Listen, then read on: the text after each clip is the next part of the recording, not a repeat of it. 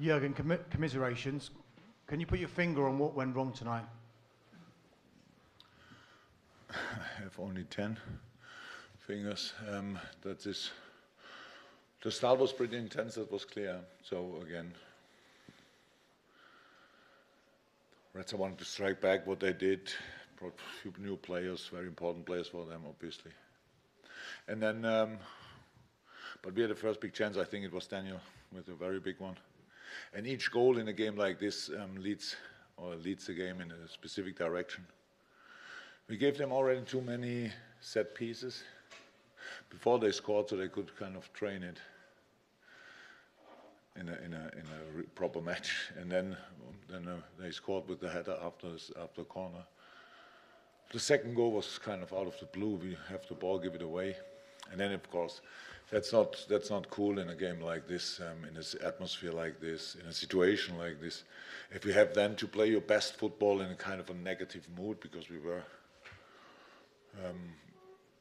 it was a it was a blow. Of course, tried to change for second half. So we had the moments in the box. We had scrappy situations with ball. They, twice, I'm not sure, on the line.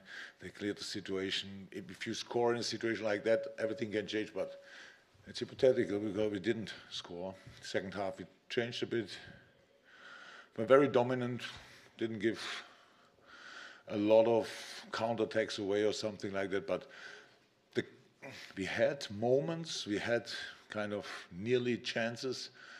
But I think the biggest chances were in the last two, three minutes. Before that, not enough. But again, if, big if, if you score early in the second half, then game can change. But it didn't. So we have to admit, congratulations, Reds, uh, well deserved.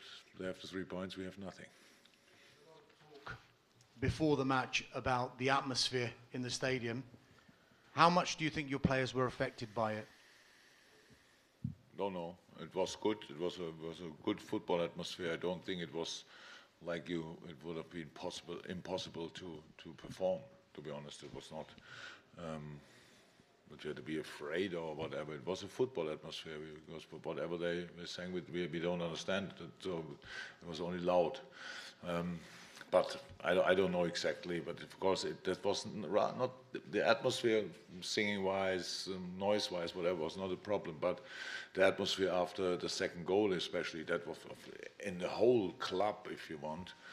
That was now they they could smell it. We walked in the halftime the long way to the dressing room, and they were all in a very positive mood. And we were actually in the other the other way around, but they didn't give up give up fighting. They they stayed concentrated. They gave everything. They had cramps. I think three, four, five players had cramps, and for us it was not was not clicking. It was not easy. We, we, we never came really back in these situations. We had the moments. We, we, we played good balls in in the right moment, but then we the, the last again it was similar to the first half different situations not after set piece but that we had really these we had the ball in the box and then we cannot really finish. They they come with a lag in between.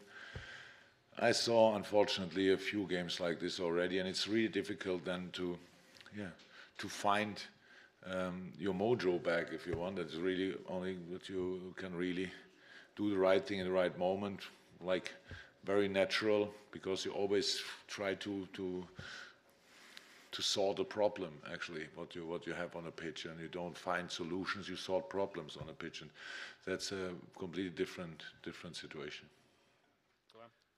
Um, did Red Star surprise you with the tactic and uh, with their game?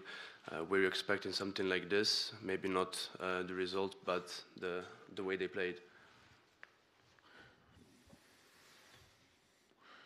which uh, with the tactics in which why why surprised with the tactics? Well, did uh, did, the- did I know the what Red tactics is surprise you what was the surprising part of it? A iznenađenje u tom smislu, ali u smislu s naše, jednostavno njegovo igračko djelo djelovali nekako ovaj, totalno...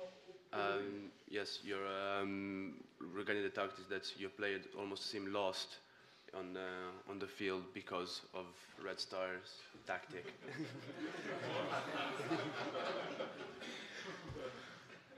is he angry because he sounds angry It shouldn't be. he sounds angry to be honest So um, we were not surprised, um, but um, the, the, the, the way how it goes in the first part, if, you saw the first game, it was similar. It was kind of wild, direct stuff like that, um, and then in, in at, at, at Liverpool we, we, we controlled the game. Then tonight we didn't because we. Yeah, they were aggressive. They were very aggressive in, in all in all the part, but they were aggressive in the last game as well. We only did better. That's how it is. We made we made life a bit too easy tonight for Belgrade. That's uh, that's uh, the main problem. And they, how I said, they deserved it with the passion they fought and whatever um, decide at the end. You have to score goals in a game. If you think about how often we were in the in the box and around. Um, that's actually what you have to do in a football game. Only you have to make the last decision in the right way, and we didn't. That's why we lost 2 0. That's all. Damir Stamenkovic here. Uh, what do you say about the game of Milan Pavkov? what do you say about the game of Milan Pavkov, and uh, did you expect that? That he scores twice now. But um, we know um, he changed the game at, at Salzburg already yeah, when he came on. So um, it was impressive that day. Um, and tonight, when we when we saw that he will play, it, for us it was clear that it will be in a specific way different because he is a proper target player for Red Star. He can play the balls to him. He, he, he, played a fantastic game. I think the second goal he was a bit surprised by himself that it's in, but he hit the ball really good in that moment. Um, and so was that he, he fought they all fought really hard that's why i say well deserved so it's not that they they were not as lucky as they should be if they win against us um, that's the that's our our fault Jurgen, uh, following on from the defeat away at Napoli, do you think it's a, it's a problem playing away that the team has developed? Because it was it wasn't that wasn't a good performance either in Napoli. And can you talk a little bit more about what you meant about you've you've lost the mojo?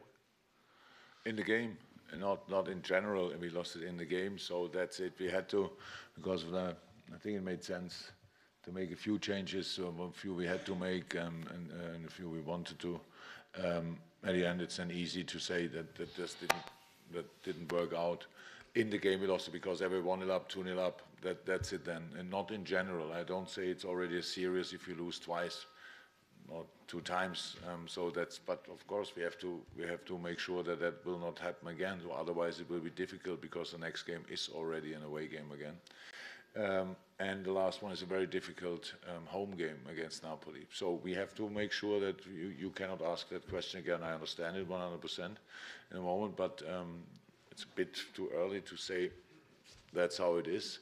Um, but um, how I said, we have to make sure in Paris that it that we do better. That that's how it is. There was, we had, um, there were a lot of moments when we when we we could get in control of the game, but then we didn't do it. So then we we made the, wrong decision. I don't think it's anything to do with the way or home. It's just it just happened, and um, yeah, that's. We will, we, will, we will talk about that and we will do that better 100%, but for tonight we can't change it anymore, unfortunately. Thank you very much, guys. Much appreciated. Bye-bye. Goodbye. Cheers, Graham. Thank you.